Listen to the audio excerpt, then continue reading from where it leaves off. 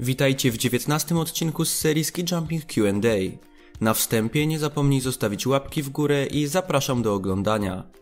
Pierwsze trzy pytania na dziś zadał BM. Pierwsze z nich brzmi, skąd wziął się telemark? Telemark to tak naprawdę pierwotna technika jazdy na nartach, która pojawiła się w XIX wieku.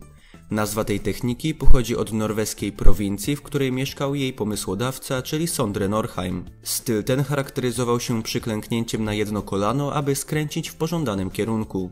O ewolucji tej techniki oraz o tym, w jaki sposób weszła ona do skoków narciarskich, można by opowiadać bardzo długo. W dużym skrócie, wiązania potrzebne do uprawiania narciarstwa telemarkowego charakteryzowały się tym, że pięta nie była zespolona z nartą, tylko miała do pewnego momentu luz.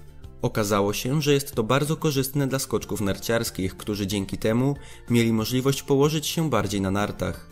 Technika telemarkowa zaczęła mocno ingerować w skoki narciarskie, aż w końcu zaczęto uznawać lądowanie tą techniką za najbardziej pożądane, a jednocześnie najbezpieczniejsze i najwygodniejsze. Drugie pytanie, dlaczego Simon Aman nigdy nie robi telemarku? Simon Aman za czasów, gdy był jeszcze juniorem, czyli na przełomie XX i XXI wieku, nabawił się poważnej kontuzji, która wymusiła na nim zmianę nogi, na którą będzie lądował. Jego mocniejszą nogą jest naturalnie noga prawa, jednak od czasu nabawienia się wspomnianej kontuzji zaczął on lądować wysuwając do przodu lewą nogę. Z tego powodu jego telemark wyglądał często niezbyt stabilnie, natomiast przy dalekich skokach w ogóle nie robił telemarku. Od sezonu 2015-16 Aman postanowił wrócić do swojej naturalnie silniejszej nogi, jednak jak się okazało nie było to takie proste. Po kilkunastu latach lądowania na lewą nogę przyzwyczaił się już do tego na tyle, że do dziś ma problemy z przestawieniem się na prawą. Prawdopodobnie już do końca kariery będzie miał on problemy z poprawnym lądowaniem telemarkiem. No i trzecie pytanie, czy był kiedyś skoczek, który oficjalnie zakończył karierę, a później rozpoczął ją od nowa? Oczywiście było kilku takich zawodników. Najbardziej znanym przypadkiem jest fińska legenda skoków Jane Ahonen, który powracał do czynnego uprawiania skoków aż dwa razy. Po raz pierwszy zakończył karierę w roku 2008, jednak już sezon później, w roku 2009, postanowił powrócić. W swoim pierwszym sezonie po powrocie był w ścisłej światowej czołówce, stając kilka razy na podium. W kolejnym sezonie jego forma była już znacznie gorsza, więc w roku 2011 postanowił znowu zakończyć karierę. Ponownie powrócił dwa lata później w roku 2013. Od tamtej pory jest aktywnym skoczkiem, mimo że nie odniósł w tym czasie żadnych sukcesów. Innym znanym przypadkiem skoczka, który powrócił po zakończeniu kariery jest Harry Oli. Zakończył on karierę w roku 2011 po problemach osobistych oraz poważnych wahaniach formy. Trzy lata później postanowił powrócić, choć nie udało mu się odnieść żadnych sukcesów. W roku 2016 związał się z firmą bukmacherską, co było niezgodne z regulaminem Fińskiego Związku Narciarskiego. Został oddalony od kadry i od tamtej pory nie pojawił się na arenie międzynarodowej. Skoczkiem, który powrócił po najdłuższej w historii przerwie był natomiast kolejny Fin Toni Nieminen. Mistrz olimpijski i zdobywca Pucharu Świata z 1992 roku zakończył karierę w roku 2004. Postanowił jednak powrócić do czynnego uprawiania tej dyscypliny po 12 latach w roku 2016. Wystartował on wtedy na Mistrzostwach Finlandii, na których zajął 17 miejsce. Podczas konkursu Pucharu Świata w Lahti w 2016 roku wystartował nawet jako przedskoczek, skacząc w granicach 90 metrów. Jakiś czas później ogłosił, że treningi są dla niego zbyt kosztowne, a powrót do wysokiej dyspozycji okazał się trudniejszy niż myślał. Postanowił więc zakończyć karierę po niezbyt efektownym powrocie. W historii skoków było również kilku zawodników, którzy powrócili po rocznym lub kilkuletnim zawieszeniu kariery. Do najbardziej znanych należą oczywiście Gregor Schlierenzauer, który ogłosił zawieszenie kariery w roku 2016, natomiast powrócił rok później, oraz Norweg Anders Jakobsen, który zawiesił karierę w roku 2011 i powrócił po roku przerwy, zdobywając m.in. brązowy medal na Mistrzostwach Świata w Val di Fiemme. Karierę zakończył ostatecznie w roku 2015.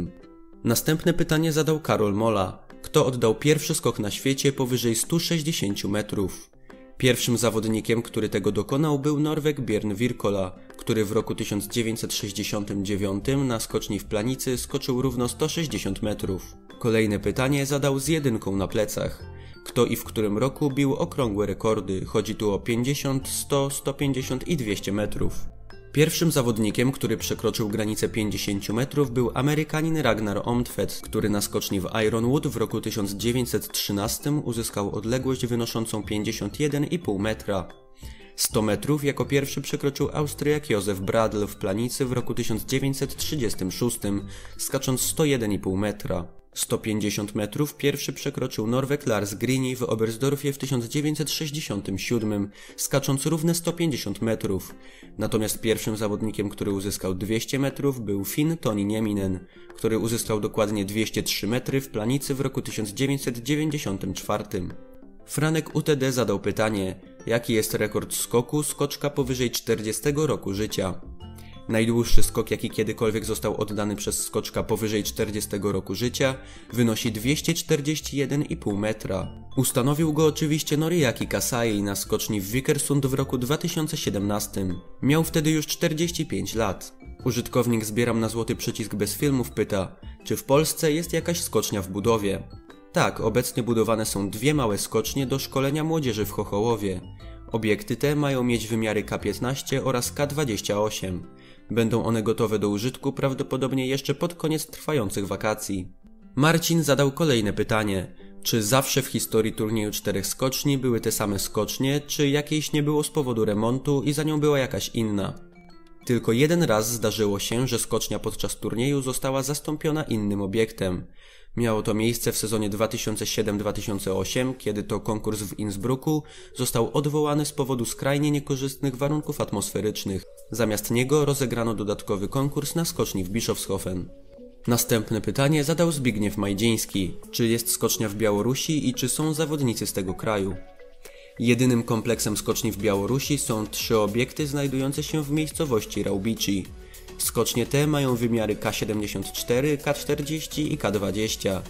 Jeżeli chodzi o skoczków, to jest ich na Białorusi bardzo mało. Skocznie są wykorzystywane sporadycznie przez młodych zawodników, którzy nie są jednak na wystarczająco wysokim poziomie sportowym, aby startować przynajmniej w Fiskapie. Ostatni start białoruskiego skoczka w zawodach rangi FIS miał prawdopodobnie miejsce w roku 2015 podczas FISKapu w Zakopanem. Skoczkiem tym był Aleksiej Murawicki, który zajął 54 miejsce na 65 startujących. Kolejne pytanie zadał Rzechus 003.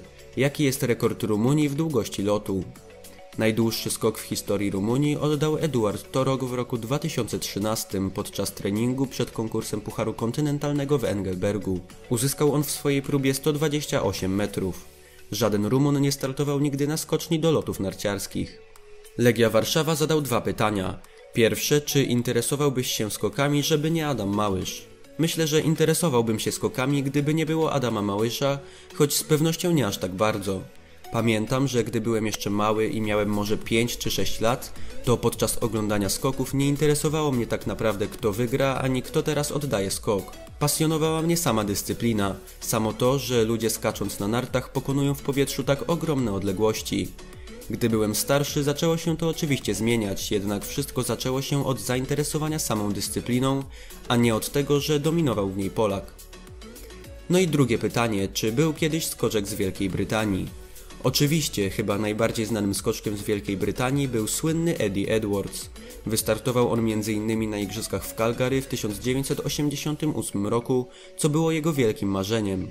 Jego fatalne skoki były jednym z powodów wprowadzenia systemu kwalifikacji przez FIS. Powstał również na jego temat film pod tytułem Eddie zwany Orłem. Obecnie również startuje kilku skoczków z Wielkiej Brytanii, którzy pojawiają się sporadycznie w zawodach rangi FIS Cup. Należą do nich m.in. bracia Jake i Robert Locke oraz Sam Bolton. Kolejne dwa pytania zadał Grzegorz Zaniewski. Pierwsze z nich, czy Harry Oli zakończył karierę? Tak jak już wspomniałem w dzisiejszym odcinku, Harry Oli miał w 2016 roku problemy z Fińską Federacją Narciarską, po czym nie pojawił się już na arenie międzynarodowej. Nie znaczy to jednak, że definitywnie zakończył karierę. Dalej jest on aktywnym zawodnikiem i regularnie pojawia się na Mistrzostwach Finlandii. Jego forma jest jednak obecnie naprawdę fatalna, ponieważ na ostatnich krajowych mistrzostwach, w których wystartował, czyli w listopadzie zeszłego roku, zajął dopiero 26 miejsce, wyprzedzony przez m.in. japońską skoczkinię Yuki Ito oraz trzech gości z Turcji. No i drugie pytanie, która skoczkini ma najwięcej podiów? Najwięcej razy na podium Pucharu Świata stała Japonka Sara Takanashi, która znalazła się w czołowej trójce aż 87 razy w swojej karierze. Warto wspomnieć, że ma ona dopiero 22 lata, więc najprawdopodobniej wyśrubuje jeszcze ten wynik bardzo znacząco. Sebastian Piotrkowski zadał pytanie, czy w Pucharze Świata brali udział skoczkowie z III Rzeszy albo Włoch za czasów dwudziestolecia międzywojennego? Za czasów dwudziestolecia międzywojennego nie było jeszcze Pucharu Świata. Powstał on dopiero w roku 1979. We wspomnianym przez Ciebie czasie skakali jednak skoczkowie reprezentujący III Rzeszę i Włochy. Najbardziej znanym skoczkiem reprezentującym przez jakiś czas III Rzeszę był Józef Bradl. Do roku 1938 skakał on w barwach austriackich, jednak od tamtej pory aż do roku 1945, czyli do rozpadu III Rzeszy, reprezentował właśnie jej barwy. Następnie znowu skakał jako Austriak aż do zakończenia kariery w roku 1956.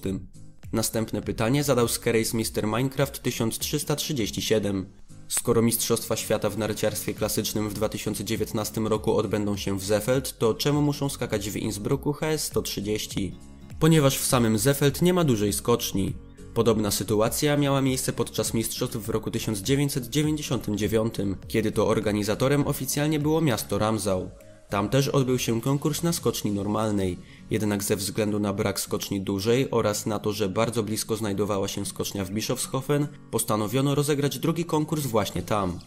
Sytuacje takie zdarzają się również często na igrzyskach. Mimo, że w roku 2014 igrzyska odbyły się w Soczi, to konkursy skoków mieliśmy w miejscowości Krasnaja Polana.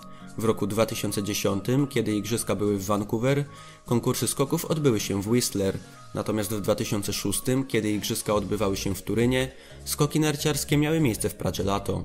Kolejne pytanie zadał subskrybent. Na Igrzyskach Olimpijskich w 2018 roku Jeon Park skakał w drużynie skoczków Korei Południowej. Jak to możliwe, skoro uprawia on kombinację norweską? Organizatorzy konkursów skoków w Pjongczangu po prostu zgodzili się na jego występ w ramach konkursu drużynowego. Jako kombinator norweski był odpowiednio przygotowany do oddania skoków, miał również wszystkie niezbędne kwalifikacje, więc nie było co do tego zabiegu żadnych przeciwwskazań.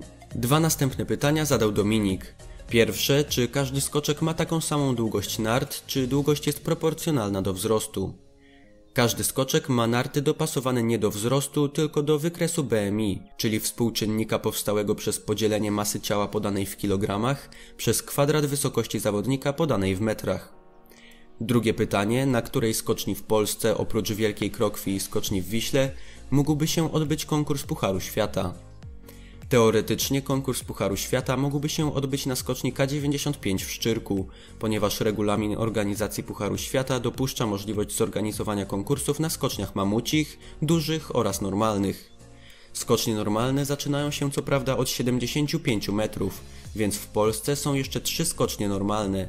Jednak obiekty K85 w Zakopanem i Lubawce nie posiadają homologacji FIS, przez co nie można zorganizować tam Pucharu Świata natomiast skocznia K85 w Karpaczu jest całkowicie zamknięta. No i ostatnie pytanie do dzisiejszego odcinka zadał Wipal. Skoro w 2019 roku Mistrzostwa Świata odbywają się w Zefeld, to czemu w sezonie 2017-18 nie odbył się tam konkurs Pucharu Świata, czyli próba przedmistrzowska? Konkurs na dużej skoczni w ramach Mistrzostw Świata 2019, tak jak już wspominałem, odbędzie się w Innsbrucku. W zeszłym sezonie odbył się konkurs w Innsbrucku w ramach turnieju czterech skoczni, który był jednocześnie próbą przedmistrzowską. Próbę tę, jak dobrze wiemy, wygrał z dużą przewagą Kamil Stoch, co może wstępnie napawać optymizmem. Jednak pamiętajmy, że do mistrzostw tych zostało jeszcze bardzo dużo czasu i do tego momentu wiele rzeczy może jeszcze ulec zmianie. Na dzisiaj to już wszystko. Zapraszam wszystkich do zadawania w komentarzach pytań do kolejnych odcinków z serii Ski Jumping Q&A. Tymczasem dziękuję za obejrzenie mojego filmu i zapraszam do oglądania poprzednich. Zachęcam również do zostawienia łapki w górę i zasubskrybowania mojego kanału, jeżeli jeszcze tego nie robisz. A na razie do usłyszenia.